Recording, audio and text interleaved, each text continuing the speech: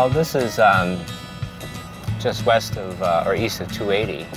There's 250 photographs on the avenue right now along six miles from uh, a block west of 280 where uh, St. Paul starts to a block uh, west of the state capitol.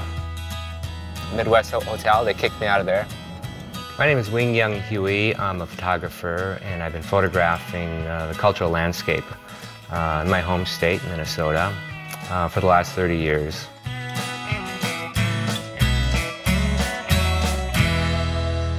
I've been told that Snelling Avenue and University Avenue is the busiest intersection in Minnesota. It's the epicenter of University Avenue.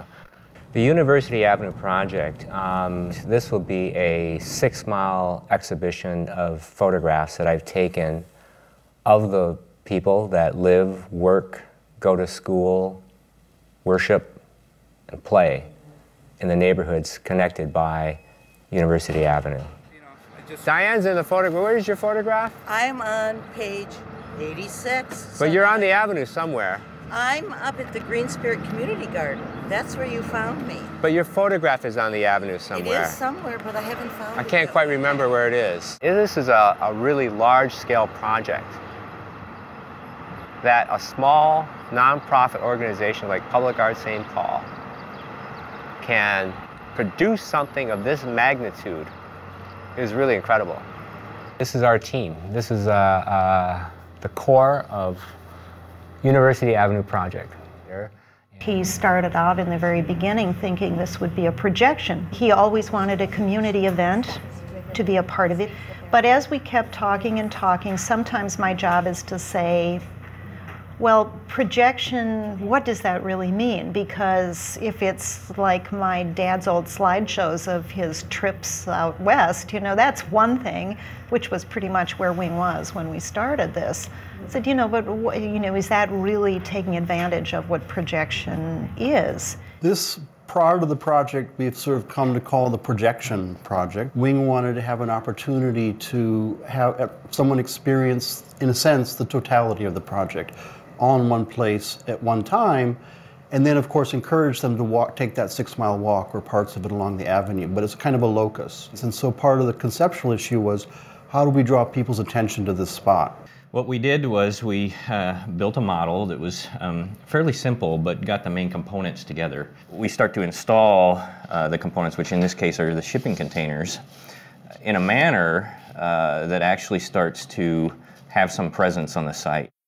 The centerpiece of the exhibition will be a um, outdoor nightly projection onto a 40-foot screen that's installed on stacked metal shipping containers. It's, uh, it's about 8.19. I think twilight starts about five minutes. And uh, that's when the show goes on. After doing uh, Lake Street in 2000, which was a big chunk of my life, and uh, wasn't sure uh, whether I would do something like that again because it takes so much energy and so much money.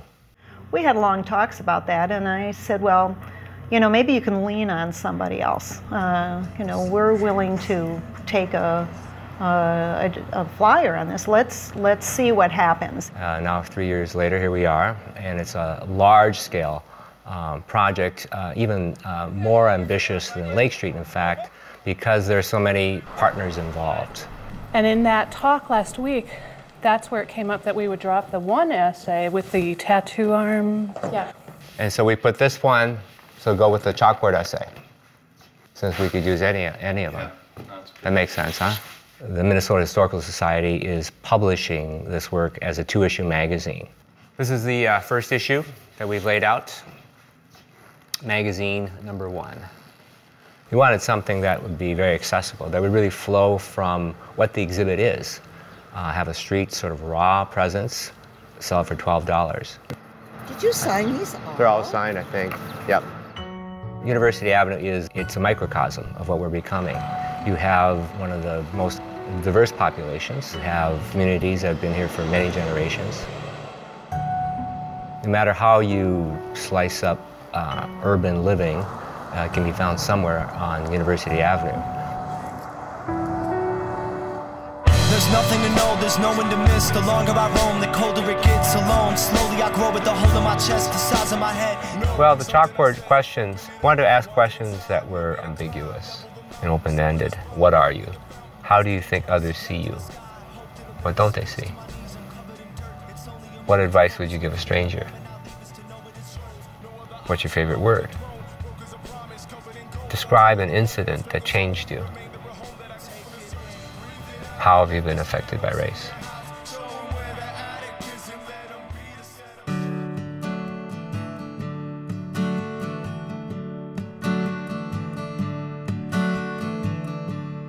Running place, moments of fleet.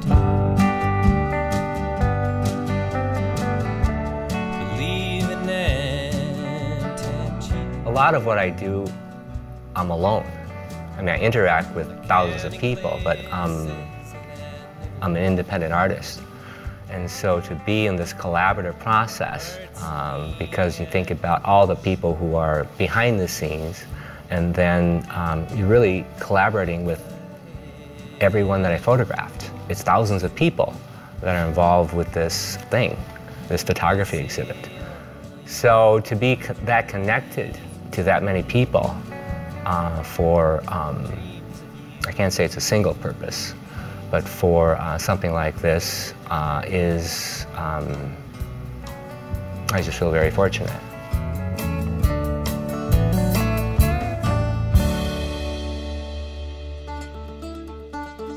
Part of the process has been the same since I started in Duluth. You know, you walk around, you, you meander.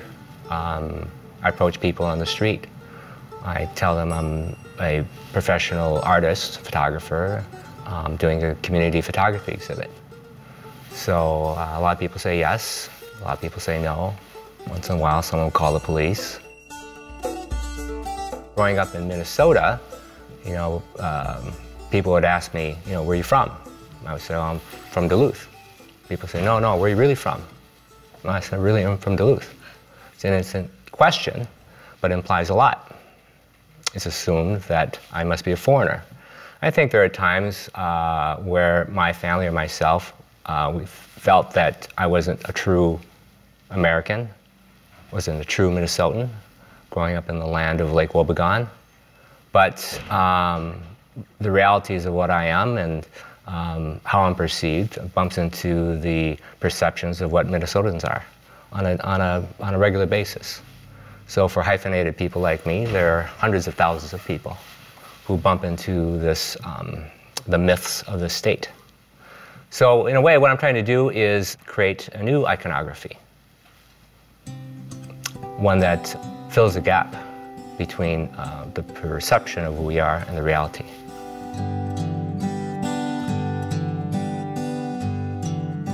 Uh, what I do is, is uh, intuitive.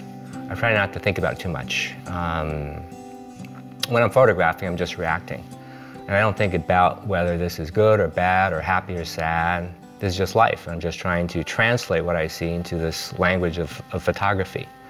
Uh, the meaning of a photograph, I think, is um, changes. I think photographs are, are, are organic. They change as, as, as, as the person looking at them changes. You know, I think um, most people think of a photograph as a, as a window, like this is your window into the world through this photographer's eyes.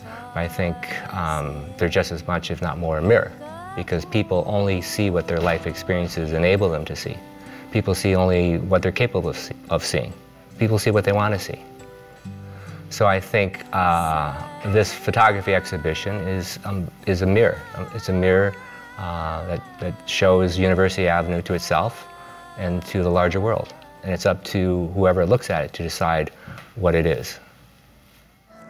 Hi, are you familiar with what, do you know what's going on here? Uh, not, no, I'd like to know. Yeah, well, um, this is a, a, project that I worked on for, for four years in public I think with all the changes that are happening on University Avenue, with light rail coming through, a billion dollars coming through, no one really knows all the full impacts. And so this, is, uh, this could be the last record of what University Avenue was like. So uh, we want this to be a social space. Did you say every night for six months. consecutively? Every single night for six months until the end of October. No kidding. We started on Saturday. Have you had so? Oh, you started already. Has anyone come here yet who's seen their own images projected on the screen? Oh yeah, we had about 600 people here on, on, on Saturday. Oh wow. So maybe people was like, "That's me." Whatever. Oh, a lot of people. Wow. A lot of people that are in the photographs. So yeah. what did you do? So you had them. You gave them a chalkboard and Yeah. you said, "Write." What did you tell them to write? Well, uh, I came up with a, a, a series of questions Yeah. that I thought would not be easily answered. And so the questions are, what are you? Really? How do you think others see you? Right. What don't they see? Right. What advice would you give a stranger? Cool. What's your favorite word?